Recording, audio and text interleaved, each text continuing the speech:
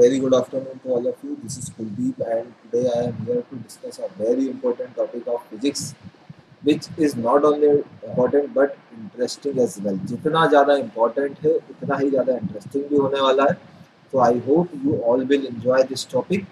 So uh, the name of the topic is force and laws of motion. First of all, uh, let's take one example. You are having one table and you have to push it out आपके पास एक table है जिसको आपको बाहर धकाना है, बाहर लेकर जाना है। So in this case what you will do your answer should be you will either push it और पुल इट या तो आप इसे पुश करोगे या फिर पुल करोगे। इसकी हेल्प से ही आप इस टेबल को क्या कर सकते हो? बाहर मूव कर सकते हो या एक प्लेस से दूसरे प्लेस पर ले जा सकते हो। So what exactly you are doing आप एग्जैक्टली exactly कर क्या रहे हो? या so your answer will be you are applying force आप क्या कर रहे हो यहाँ पर? फोर्स लगा रहे हो. So what exactly the definition of force push और पुल पुश और पुल को ही हम क्या बोल सकते हैं? एक तरह का फोर्स समझने के लिए ये हमारे पास एक फोर्स की हमें डेफिनेशन मिल गई। Now the force we are going to discuss the exact definition and meaning of the force force का एग्जैक्ट मीनिंग या फिर डेफिनेशन क्या होती है? फोर्स क्या होता है? Force is an external agent capable of changing the state of rest और motion of a particular body जैसा कि अभी हमने डिस्कस किया है कि आपने, आपके पास एक टेबल था और उस टेबल को आपने क्या किया? या तो पुश किया या फिर पुल किया और वो अपने प्लेस से हट गया, अपने प्लेस से डिस्प्लेस हो गया। So what exactly you have done you have applied the force on that particular table आपने उस टेबल पर क्या किया है? फोर्स को अप्लाई किया है। सो so, फोर्स क्या है? एक एक्सटर्नल एजेंट है। एक्सटर्नल एजेंट का मीनिंग क्या होता है? What exactly the meaning of external agent is external agent का मीनिंग यही होता है कि आप यहाँ पर वो जो बॉडी है वो खुद से कोई भी काम नहीं कर रही है। आप या फिर कोई और उस बॉडी पर आकर वर्क करने की कोशिश कर रहा है। सो so, फोर्स क्या करता है? फोर्स आइदर produces change और ट्राई टू प्रोड्यूस change. या तो चेंज प्रोड्यूस करता है, या फिर चेंज प्रोड्यूस करने की कोशिश करता है। For example if there is a wall if there is a wall एक कोई दीवार है, जैसे कि आप लोग देख पा रहे होंगे मेरे पीछे, इस तरह की यदि कोई एक दीवार है, और इस दीवार को आपको इसके प्लेस से पुश करना है, हटाना है। So what you will do you will apply the force if you will apply the force, so it will move or not. यदि आपने इस दीवार पर, इस वॉल पर फोर्स लगा दिया तो क्या वो अपने प्लेस से हट जाएगी? नहीं। It will not move so if it is not moving, so either you have applied force or not, आपने फोर्स अप्लाई किया है या नहीं किया है?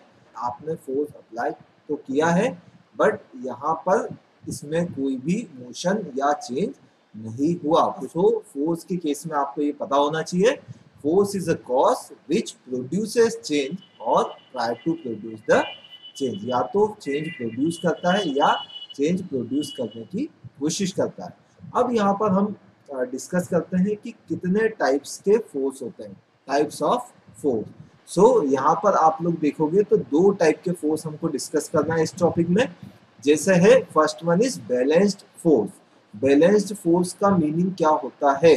आप लोगों ने कहीं पर देखा ज़रूर होगा, इस टाइप से एक बैलेंस होता है, जिसको हम हिंदी में तराजू भी बोलते हैं। इसमें हम क्या करते हैं? एक साइड एक हम वेट को रखते हैं और दूसरे साइड पर जो भी ऑब्जेक्ट जिसकी वैल्यू हमें काउंट करना है, उसी को रखते हैं। जब दोनों इक्वल होते हैं तो हम इसे कहते हैं कि ये क्या है? ये दोनों बैलेंस कंडीशन में है। किसमें है? Balance condition. बैलेंस का मीनिंग क्या है? जितना एक साइड है उतना ही दूसरी साइड भी है। तो इसी को हम बोलते हैं balance. Similarly if you are uh, able to understand the meaning of balance so you can also get the meaning of balanced force as well. यदि आपको बैलेंस का मीनिंग समझ में आता है तो आप बहुत ही इजी तरीके से बैलेंस्ड फोर्स का मीनिंग भी समझ सकते हैं। अब आपको समझ में आ गया कि बैलेंस का मीनिंग होता है इक्वल बैलेंस का मीनिंग होता है इक्वल सो बैलेंस्ड फोर्स का मीनिंग क्या होगा? बैलेंस्ड फोर्स का मीनिंग क्या होगा?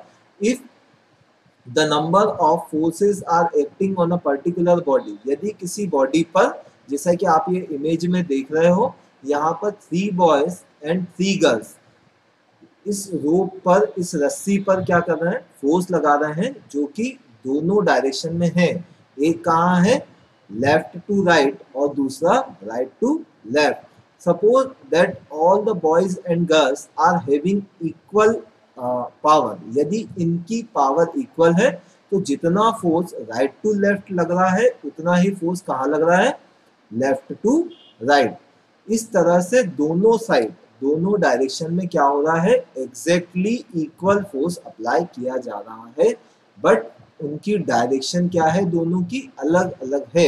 यदि दोनों की डायरेक्शन दोनों फोर्सेस की डायरेक्शन अलग अलग है, भले ही उनका मैग्नीट्यूड सेम हो तो उस केस में हम इस फोर्स जो अप्लाई किया जा रहा है, उसे क्या बोलेंगे? उस फोर्स को हम बोलेंगे balanced force what we will exactly call it? We will call it balanced force. So, here the definition of balanced force is also written.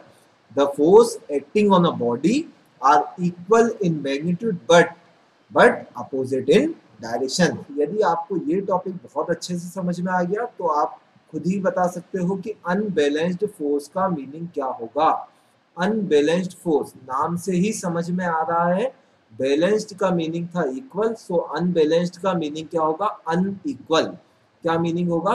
On equal unequal का मीनिंग क्या होगा यहाँ पर? यहाँ पर मीनिंग ये होगा जो आपको इस इमेज से समझ में आ रहा है।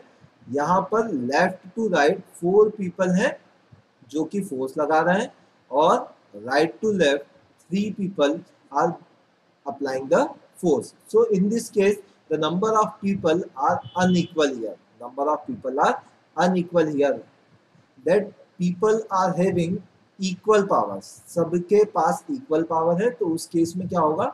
ऑब्वियसली ज़्यादा फोर्स कहाँ पर लग रहा होगा? ज़्यादा फोर्स लग रहा होगा लेफ़्ट टू राइट और कम फोर्स लग रहा होगा right to left so the magnitude of force is unequal suppose they are applying four newton of force and they are applying three newton of force so in this case when three newton and four newton force is being applied so obviously the rope will move in the direction of left to right rope कहाँ पर move करेगी? ये रस्सी कहाँ पर ज़्यादा move करेगी? Left to right so the definition of unbalanced force is if the force acting on a body are opposite in direction and unequal in magnitude और साइज़ इनका मैग्नीट्यूड या साइज़ क्या हो? अनइक्वल हो और डायरेक्शन क्या हो? अपोजिट हो. तो इसको हम बोलते हैं अनइक्वल फोर्स और अनइक्वल फोर्स यदि हमने यहाँ पर अप्लाई किया तो इससे क्या होगा? इससे ये रस्सी या रोप क्या है? किसी एक पर्टिकुलर डायरेक्शन में मोशन करेगी। There is a change in state और बैलेंस्ड फोर्स के केस में क्या हो रहा था? यहाँ पर कोई भी चेंज नहीं था। There was no any change so balanced और अनबैलेंस्ड फोर्स दोनों आप लोगों को पता होना चाहिए। ये एक इंपॉर्टेंट टॉपिक है।